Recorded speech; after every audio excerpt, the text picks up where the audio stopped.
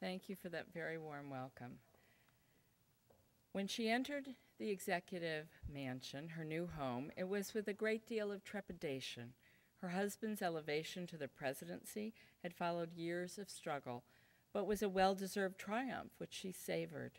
She had served him as a political sounding board, promoted his best speeches, his career in government, and stood by her man, despite family conflicts, which gave the couple a bumpy start to their marriage. The conflict between in laws was but one of many obstacles in the couple's marital happiness, as they had lost a child, a young son. But this early tragic loss seems to have been healed. She had given him other sons. And now, as they moved into this new home with young children, they embarked on a new phase of their lives. She could not expect to rest on her laurels. Her skills as a political wife, well acknowledged, would be tested, as would her husband's talents during 1861. She moved into her new home and brushed aside rumors that she was partial to the enemy because of family connections. The new president would need all her support, and she remained true to his cause, convinced he would lead his nation to victory. Yet it pained her to endure a home constantly besieged by those begging favors, advice, influence, all unburdening as well as demanding, alongside legitimate interruptions by military men and diplomats and others whom the wartime president must administer to. She hated to see his face become worn with care, his frame even more gaunt, his health even more precarious in the White House than out of it. Detractors found her style imperious as she played favorites, matchmaker, and more from her perch at the center of the presidential court, a natural target for gossip and bad press among jesters and hangers on. She earned a royalist nickname, repeated behind her back, but tried to maintain regal repose despite reports to the contrary. Many of her household employees, black and white, defended her against criticism. Perhaps they were as moved as the nation as she would lose a child in the White House. And this is where the story begins. I hope some of you can recognize that this is a tale of two First Ladies, as this could apply to either Varina, second wife of Confederate President Jefferson Davis, and his First Lady in Montgomery, then Richmond, or to Mary, Abraham Lincoln's first and only wife. But it will be the larger story of mourning interwoven with the deaths of these two symbols of sons lost, and how mourning became perhaps the most potent ritual in Civil War America. The death of a child remains something extremely traumatizing, yet something all too common in 19th century America. Statistically speaking, most antebellum American mothers could expect to lose a child, primarily at the tenderest of ages, during infancy, or at least before adulthood. Scholars continue to debate this core factor in 19th century parenthood. I don't think it's a germane issue to outline analytical, ideological battles.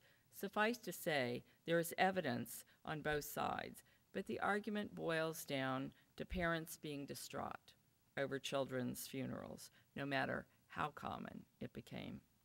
Perhaps this is what drove so many Americans, 40%, according to Richard Carwardine, into the arms of evangelical Christianity during the early decades of the 19th century. The world was becoming more networked, more accessible, more modern, and yet children kept dying, one in 10 infants, before the age of one during mid century. And childhood mortality reached one in four for America's white parents. Of the four sons she bore, Varina Davis only had one son live to adulthood, and he predeceased her, dying at 21. One of her daughters died, and one of her daughters survived her, so Varina gave birth to six children, but outlived all but one. Mary Lincoln lost two boys at 3 and 12, and one son at 18, and only her oldest, Robert Todd Lincoln, survived his mother. Within this climate of dread, fear, and a parade of family loss, American writers in mid century appealed to sentimentality with stories, images, poems about dying children intended to comfort grieving parents. A verse from the English Woman's Domestic Magazine in 1863 reflects this Immortal bud of mortal birth, to thee brief date was given. The flower that was too fair for earth is called to bloom in heaven. People had to find ways to cope with the overwhelming consequences of childhood mortality. In 1854, Caroline Howard penned a piece about the death of a child. In the sleep of death, with white hands intertwined upon her breast, and flowers round her pallid marble face, that she loved best. So Howard, like many of her sister scribblers, tried to soften the blow of loss by portraying a deceased child as calmly reposed. This might have worked to some effect in the antebellum period, but by the time of the Civil War, mothers and indeed fathers were drawn into a very different dynamic. The maiming and slaughter of hundreds and thousands of sons during the four years of the Civil War imposed an unimaginable burden, bringing down the curtain of reality. Civil War scholar Drew Faust has told us much about death in mid century, as does Ric Burns' new film, Death in the Civil War. Faust's Republic of Suffering chronicles key features of the era the good death, the Ars Mori, the hour of death to be witnessed and narrated. She movingly describes the pain and sorrow of losing loved ones to die as strangers in a strange land, the soldier's lot. And I recall uh, a while back, I was moved to tears on a Remembrance Sunday in Scotland because in the UK they have quite a beautiful ceremony every November to mark the passing of soldiers. And a marker was erected for those who served who were lost at sea, for loved ones who had nowhere but this memorial to mark their loss before they could only toss memorial wreaths into the ocean and watch them bob across the waves and sink which struck me as unimaginable cruelty. Before 1900, less than 20% of Americans died away from home. So the Civil War was the largest, most cataclysmic anomaly for 19th century death. Faust points out General Orders Number 33, dealing with soldiers' burials, includes phrasing as far as possible and when practicable. War imposed crushing expediency, and the times were indeed a changing. Generals were hired and fired to wage war. Union General George Meade complained after Gettysburg, I cannot delay to pick up the debris of the battlefield. And so at Gettysburg, as it was elsewhere, many women were drafted to pick up the pieces, like the ill fated Elizabeth Thorn. Keeping track of the wounded and dead was even more challenging. The Union established centers in Philadelphia, Baltimore, Louisville to keep count of the more than a million names that ended up on official ledgers. Clara Barton heroically spent a good number of years devoting time and energy tracking down soldiers who were lost and abandoned by the system enlisting them, but still sought families that gave them up. With her efforts, more than 20,000 soldiers were cleared from the missing list. And it's only a year ago, through the effort on the part of the Museum of the Civil War Medicine and the GSA, that the building in Washington, D.C., where Barton carried out much of her work, is being rehabilitated into an historic site. Faust argues that the Civil War, as the first modern war, can be called such in part because it created accountability for those who served their country. The government henceforth would be required to undertake notification of next of kin, proper burial, fitting commemoration. Eventually, the state would donate benefits to families of the dead, families of veterans. Families of Civil War soldiers were perpetually consumed with the business of survival.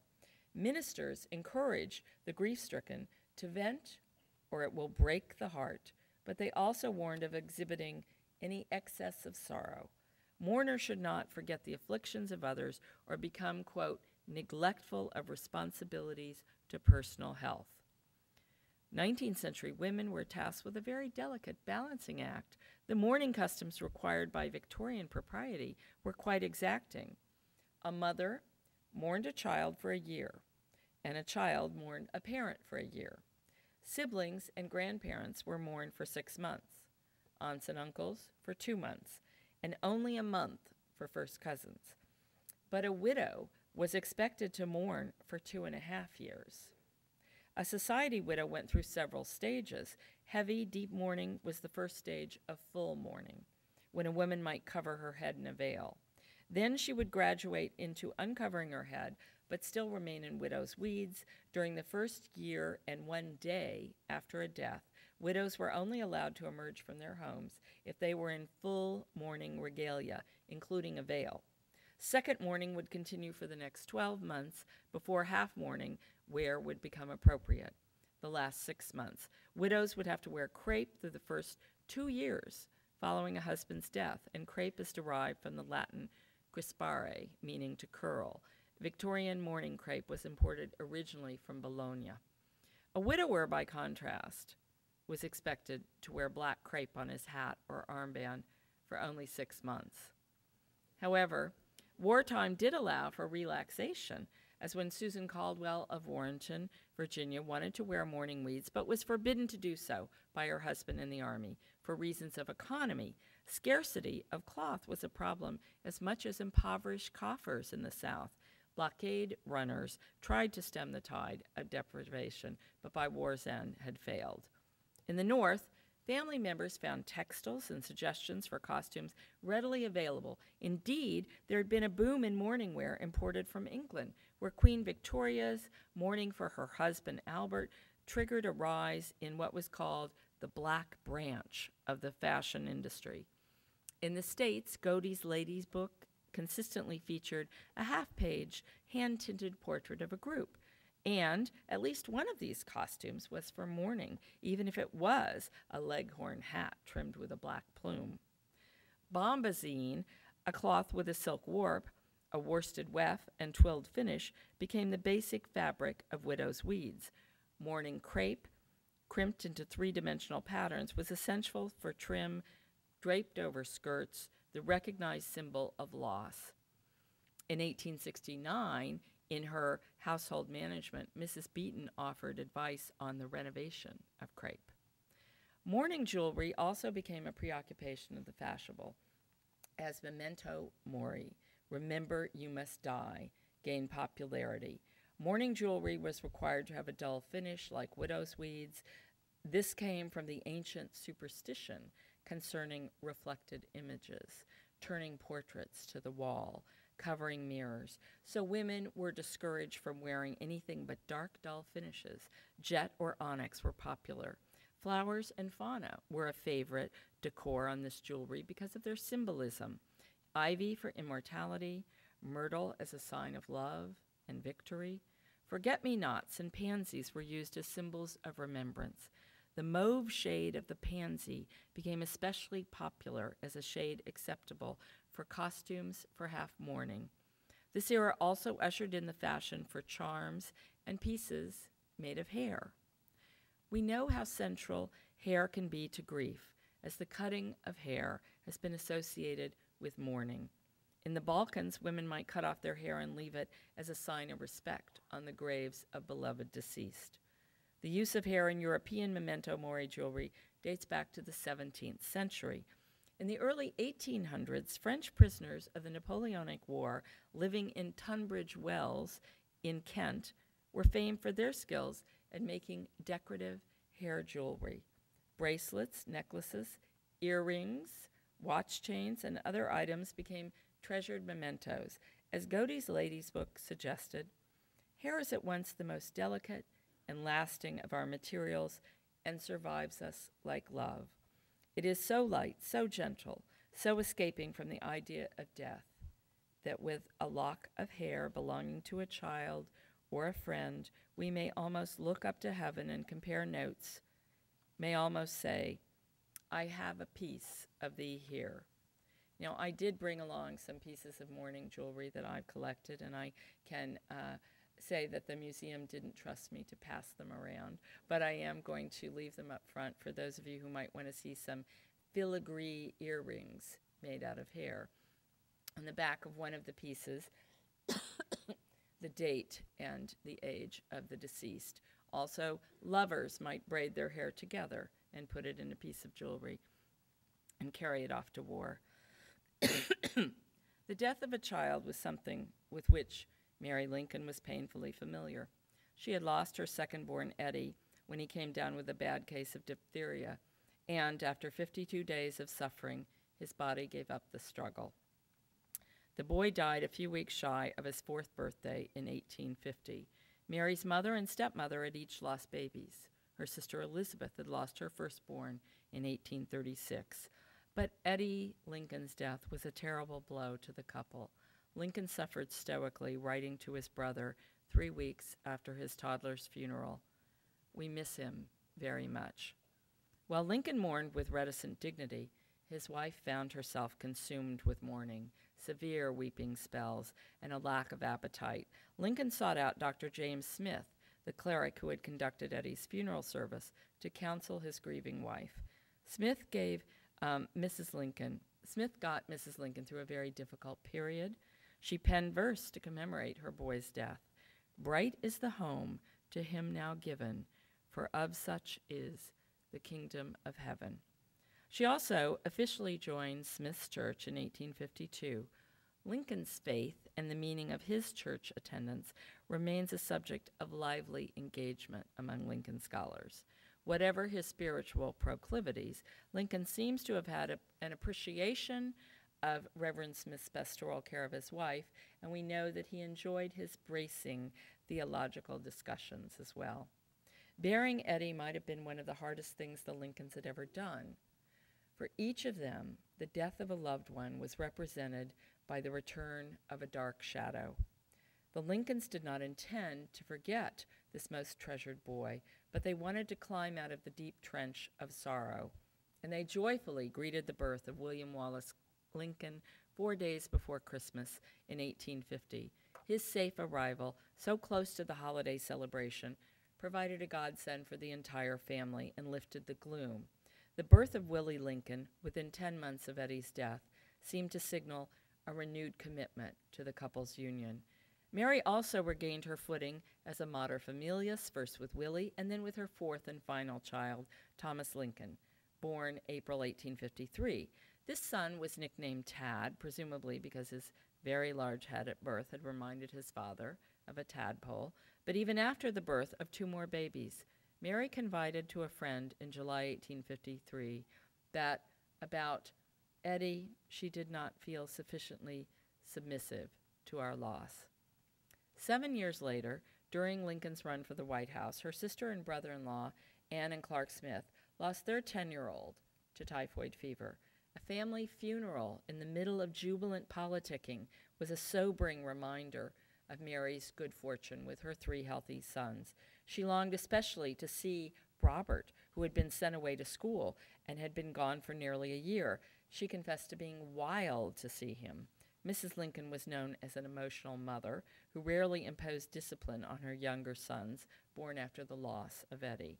With her husband's election and the move to Washington, as well as an impending war on the horizon, she struggled against the odds to keep her husband and family on an even keel. Once in the White House, Mrs. Lincoln struggled to keep Sunday for family activities, and her sons enjoyed the egg rolling on the White House lawn, which took place on Easter Monday April 1st in 1861. The Lincolns attempted to keep their boys diverted from the more serious matters swirling around. Even Mrs. Lincoln's talents could not withstand the pressures brought to bear following Fort Sumter in April 1861. As William Stoddard would later suggest, war has no Sunday, no day of rest, no hour that is sacred above all others. The next month, the family was rocked by the death of Elmer Ellsworth, whose death in Alexandria, Virginia became a touchstone for the nation embarked on a course of war. The Ellsworth funeral on May 25th signal, signaled the Lincolns' first personal contact with loss, the first son fallen to the enemy. Willie and Tad were somber. The family was comforted by the arrival of their oldest son, Robert, on May 27th. The White House was not an easy place for the Lincoln family to maintain equilibrium just as the boys were getting used to the loss of their hero, Colonel Ellsworth, another White House favorite, Colonel Baker, was killed in action at Ball's Bluff on October 21st. Baker's funeral on October 24th was another emotional family ordeal. Mrs. Lincoln wore a dress in a shade of purple to Baker's funeral instead of the traditional black. This Victorian fashion of wearing purple for mourning was only recently introduced, and it offended some Washington ladies, which added to the controversy over her own Confederate ties and her multiple shortcomings, according to detractors. Mrs. Lincoln became embroiled in layers of scandal more than just a tiff over the shade of her dress.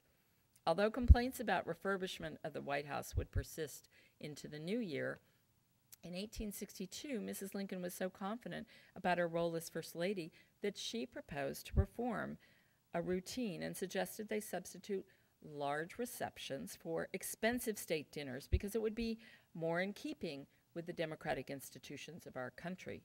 When she first broached the subject, her husband was skeptical, but her arguments won out. One of Lincoln's secretaries, John Nicolay, proclaimed, La Reine has determined to abrogate dinners, and La Reine got her way. Indeed, the Lincolns were the first residents of the White House to see the potential of making their home a national stage. They introduced the practice of bringing artists and performers into the executive mansion.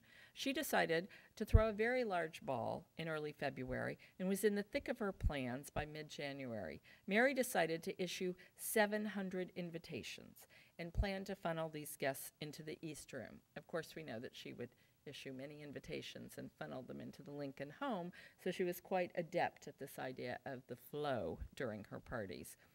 Not only the work of such an event, but the worries associated became acute to the Lincoln secretaries, who were by this time openly hostile to Mrs. Lincoln, referring to her as Hellcat behind her back. Mary was firmly convinced that a diversion was absolutely necessary. She ignored Senator Benjamin Wade, who wrote indignantly Are the President and Mrs. Lincoln aware that there is a civil war? If they are not, Mr. and Mrs. Wade are not, and for that reason declined to participate in dancing and feasting. Mr. Lincoln decided to veto any dancing, but feast they did, heaping plates of partridge, quail, duck, turkey, beef, and the president's favorite, oysters, greeted guests, as well as elegantly appointed Lincoln with his wife Mary at his side. A cake in the shape of a fort, an elegant sugar spun dessert amused the throng. The Marine Band played the Mary Lincoln Polka, a piece composed to honor the First Lady. The rooms were not overcrowded because only about 500 showed up. But the Washington Star pronounced it the most superb affair of its kind ever seen here. However, dissenters composed a counter ditty, My Lady President's Ball, which offered mournful verses composed from the perspective of a wounded soldier bemoaning the follies of the White House.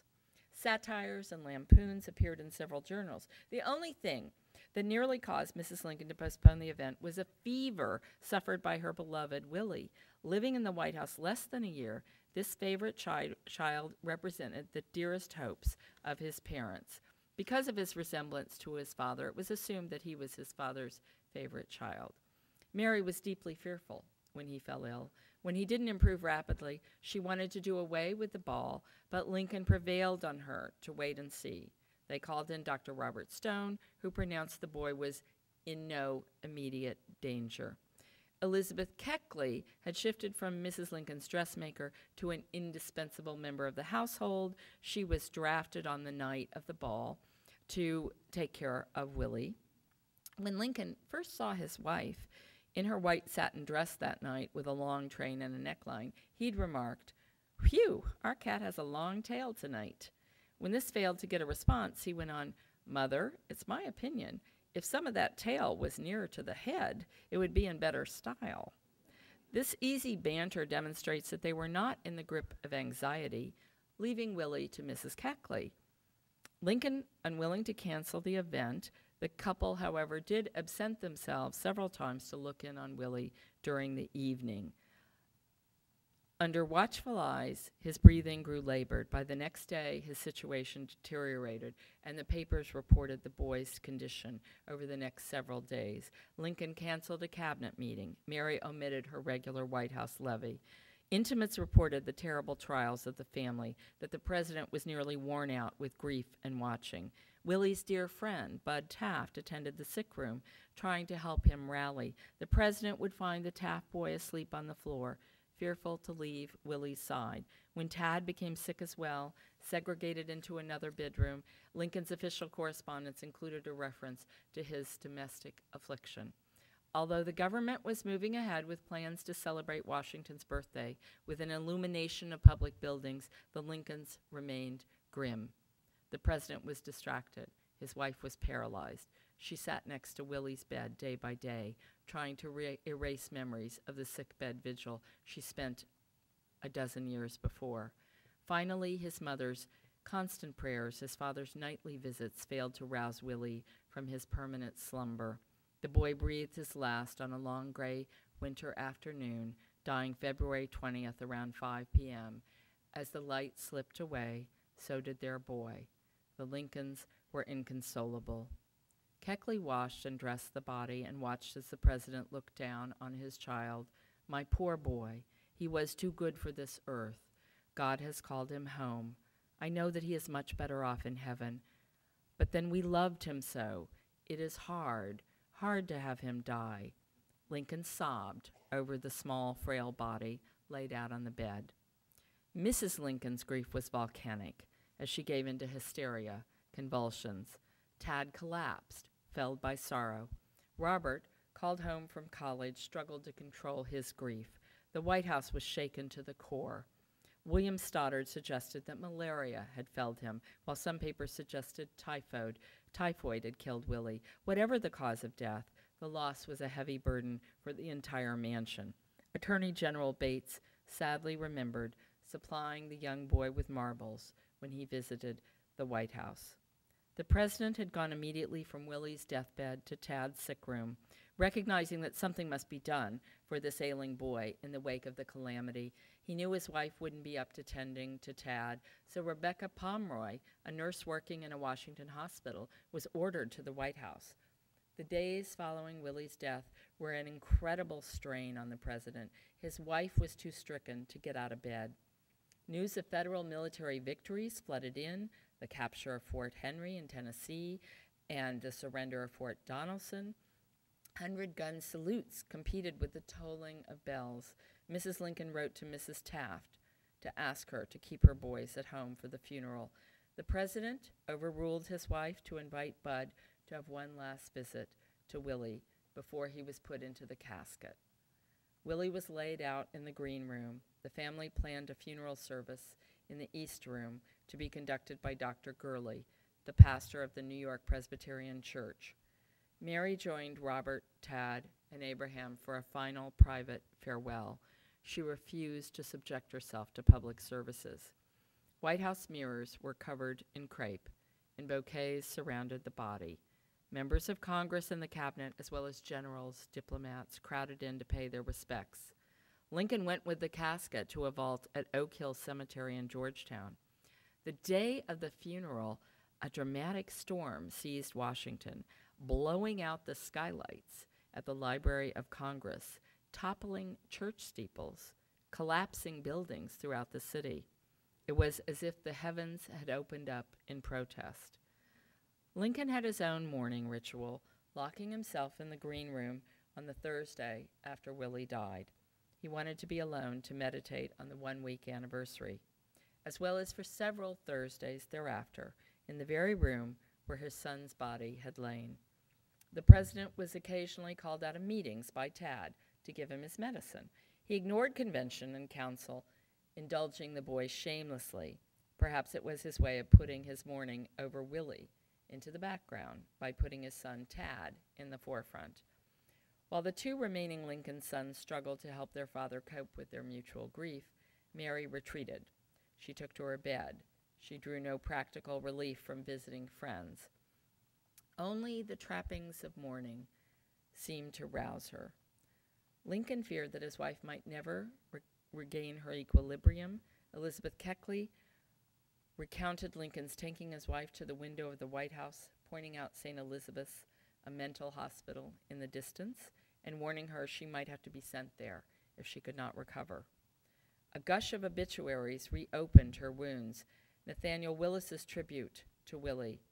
He retained his prairie habits, unalterably pure and simple, till he died. His leading trait seemed to be a fearless and kindly frankness, willing that everything should be as different as it pleased, but resting unmoved in his own conscious single heartedness. As her husband and son, Tad, became closer, Mary let anxieties engulf her, wrapping around her like wraiths of fog, refusing to lift. But the good counsel of women, like the wife of her husband's Secretary of the Navy, Mary Jane Welles, who would lose six children herself, and nurse Rebecca Pomeroy, as well as other spiritual advisors, supported Mary during the initial weeks of grief.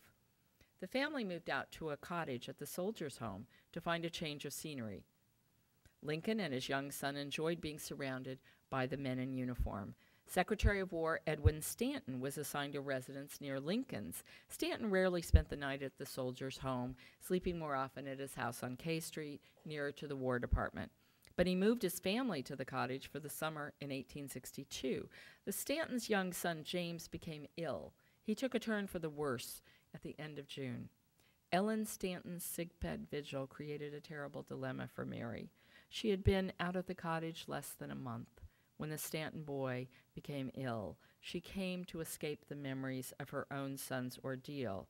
Lincoln had gone into Virginia to rally the troops.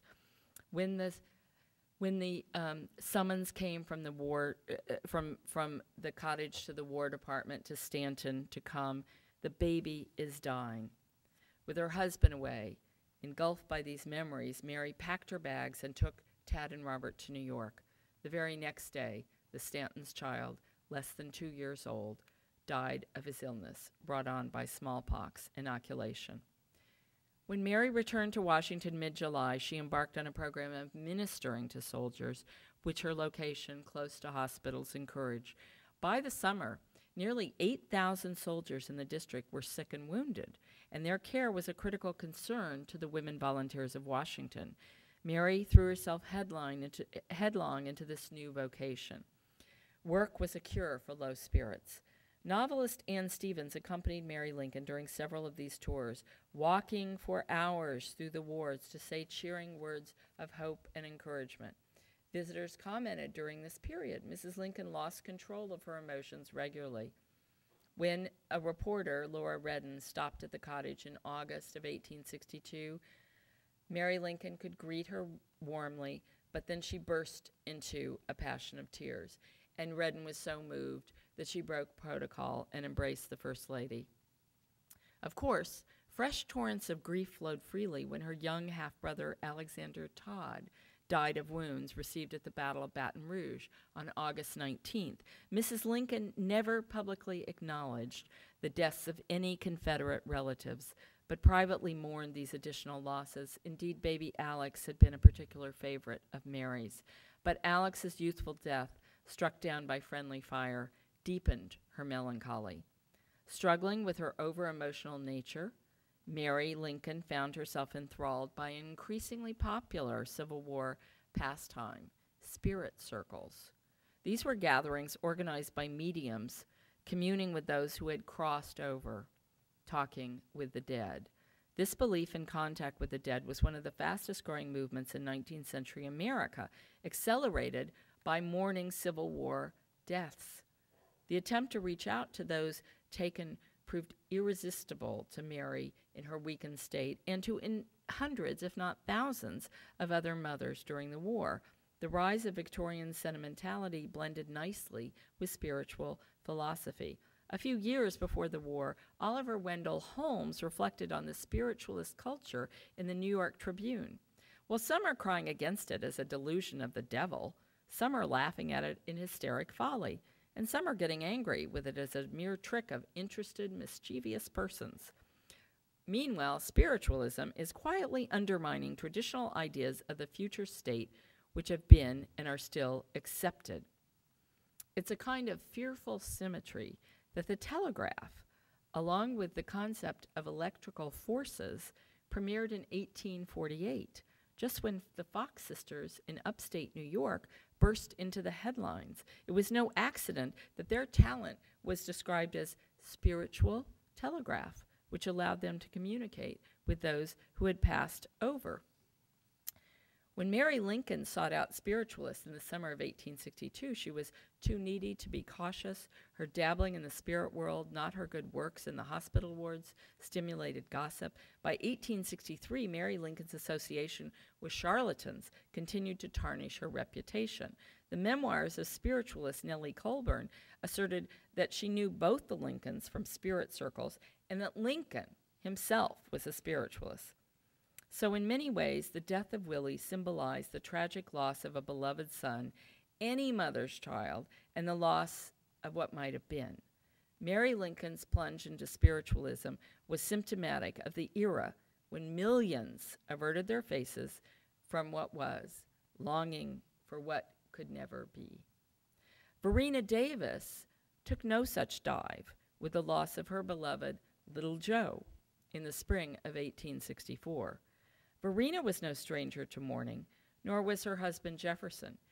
Indeed, she had to undergo the very stressful ordeal of being a 19 year old bride on honeymoon when her new husband, the 37 year old widower Jefferson, took her to the grave of his first wife, who had died 10 years earlier. She had very difficult relations with her husband's older brother Joseph, who was like a surrogate father to Jefferson. Joseph's family management included moving a widowed sister in law and orphan children into the Jefferson Davis plantation home, which did not endear him to Varina. Luckily, she escaped Mississippi when her husband entered the House of Representatives shortly after their marriage, following his distinguished military service in the U.S. Mexican War. In 1847, he became the U.S. Senator from Mississippi. Next, he was drafted by Franklin Pierce as Secretary of War in 1853. Anyone interested in Davis's political style would do well to dip into Guy Gugliotta's wonderful book, Freedom's Cap, which not only tells the fascinating story of the rebuilding of the Capitol Dome, but it's a colorful, compelling narrative of congressional politics during this decade leading up to the Civil War, including some of Davis's more memorable schemes, like his idea for a camel brigade. By the 1850s, Varina Davis had become a popular society hostess. Laura Holloway complimented the home of Mrs. Jefferson Davis was much more the gay center of Washington society than was the White House. Davis was in no way trying to supplant the First Lady, but rather understood that Jane Pierce had, sleep, had slipped into deep mourning. When her husband was elected president in 1852, she had already lost two sons, but on their way to Washington for the inauguration, the Pierces' only remaining child, a son, was killed in a railway accident before his mother's very eyes. She spent most of her husband's administration as a recluse, and the Smithsonian today has one of her gowns for half mourning in its collection a black silk taffeta skirt with an overskirt of black tulle embroidered with silver dots. While Jane Pierce was distracted by her grief, Varina Davis unofficially shouldered some of the First Lady's entertaining. Davis herself had been a social ingenue at 19 when her husband had taken her to the Polk White House. But as a skilled matron, she made sure every member of the House of Representatives received at least one invitation to a Davis fete during the winter.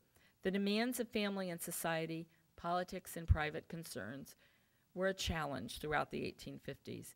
In April 1859, the couple faced their own personal crisis when they welcomed a new son, which Varina very much wanted to name for her father, William Howell. But Jefferson Davis had another plan and insisted that they name the boy Joseph E. Davis after his beloved brother. But as William Cooper has documented, this was someone who Varina believed was her nemesis. The wrangle over the baby's name was debilitating, Varina conceded it was her husband's right to make such a decision, but she was so sickened by this quarrel that she decamped to the um, mountains in Maryland with her friend, the daughter of Montgomery Blair. Joseph Davis was so thrilled with the news that he did what he could to reward his brother's wife. When little Joe was just a baby, his namesake uncle offered to pay an all expense paid tour to Europe for Varina, for her three children, a nurse, all to accompany him on the grand tour. Varina declined. Her resentment had not abated by 1861 when, on a visit to Richmond, Joseph confessed in private to her that the naming of this child had obliterated all memories of any ill feeling between them. But she refused to let bygones be bygones, and she told Joseph she knew how much her husband loved his brother and that she would require her children be respectful. But I owe you nothing and perfectly appreciate your hostility to me. It would seem that by the time Davis became the Confederate president, by all reports, the couple were reconciled and were operating as a team. Varina had been so disturbed by their first home, but now she resided in a three story Italianate mansion, fitted with gas burning chandeliers and rich American Rococo Revival furnishings in the house at 12th and Clay in Richmond, leased by the Confederate government to serve as its executive mansion. By the time they moved into their new home, little Joe was reportedly his father's favorite, climbing on his papa's lap at the dinner table and entreating his father to join him nightly in prayers before bed. And in December of 1861, Varina gave birth to another son, who this time was called William Howell Davis. Visitors to the Confederate White House were charmed by the children both Joe and Jeff wore Confederate uniforms, and observers commented that, like many young boys, they had unbroken wills. They were doted on, and by the late 1863, it was clear that Davis's melancholy could only be broken by his children's visits as a great diversion. So it was with the deepest tragedy when Varina Davis had just arrived at her husband's office at the customs house, taking him his lunch midday, April 30th, 1864, when a servant showed up to fetch him and his wife. Joe had taken a fall off the piazza at the mansion. Varina later recounted that she left him playing happily with the other children and their Irish nurse, but apparently Joe had wandered off out onto the balcony where workers had lumber piled up doing renovations. Whether he was climbing the balustrade or some other scenario, his body was found on the brick courtyard pavement below by his brother Jeff, who began to wail. He could not wake his brother, and Jeff told their neighbor, who arrived before the boy's parents, that he had prayed to God, but he could not wake Joe up. The boy was still alive when Varina and Jefferson found him. He had a skull injury, two broken legs, but he expired before the doctor arrived. Jefferson Davis repeatedly chanted over his son's dead body, Not mine, O Lord, but thine. The parents hovered over the lifeless corpse. When a courier arrived with a dispatch from General Robert E. Lee requiring a response, Davis sought help from his wife, but they turned it over to a military attache. Davis was refusing to rest while Varina awaited the return of her sister Margaret, who was away for the day. Close family friend Mary Chesnut, wife of former South Carolina Senator James Chesnut, was leaving the Confederate capital the next day, she had taken Margaret out on a boat on the James River for a day with friends for a picnic. Mrs. Davis sent her carriage to fetch the group. Mary Chesnut recorded that on the ride back to the Davis home, the silence was broken only by Maggie's hysterical sobs. When the party arrived, the house was lit up in every room, but the mansion was totally silent. The Chesnuts postponed their departure to attend funeral, which was an amazing outpouring of grief. The people of Richmond took the opportunity to shower the Davis family with condolences. The death became a public event as nearly a thousand children wound up the hill to Hollywood Cemetery for Joe's burial, while the president and his pregnant wife stood witness. Each child dropped a bunch of spring flowers or a green spray on the plot which was a mass of white flowers. Burton Harrison recalled the terrible self control of Jefferson Davis was even more heartbreaking. Constance Cary, who would become Burton's bride, remarked that Davis looked older than his 55 years, and she was haunted by Varina's mournful eyes. So many of the mourners were struck by the cloaked figure of the First Lady, bearing one child while pregnant with another. Davis's biographer commented Richmond had no remembrance of a more moving funeral. On May 2nd, Jefferson Davis returned to his office, the business of the nation and war. Varina was complimented as well on her brave face. Mrs. Davis, although she was in mourning, courageously fulfilled all the social duties of her position. The First Lady delivered her seventh and final child, a daughter, on June 27th. Christened Varina Ann, she was nicknamed Pie Cake by her family. However, to the rest of the country, she came to symbolize her father's dream, and she became known as the daughter of the Confederacy. She never saw the balcony from which her brother fell to his death. In September, her father had the workmen tear it down. When he was later locked up in prison following the fall of the Confederacy, Jefferson Davis was brought a twig from the grave of his son Joe, and he meditated on that little mound to which was laid so much of my tenderest love and highest hope of earthly things. Davis died in 1889 and was reunited with his son at a gravesite in Richmond in 1893. Mary Lincoln was unable to make the train trip with her husband's remains, accompanied by Willie's coffin on the funeral train back to Springfield in 1865, but she was buried at Oak Ridge Cemetery in 1882 with three of her sons and her husband, the martyr president, in whose honor she wore black for the remainder of her life. Varina Davis buried six of her seven children and a husband. She would confide to her remaining daughter Margaret shortly before her own death in 1906 I'm going to die. Don't you wear black. It's bad for your health and will depress your husband. And it's with this uplifting advice that I conclude. Thank you.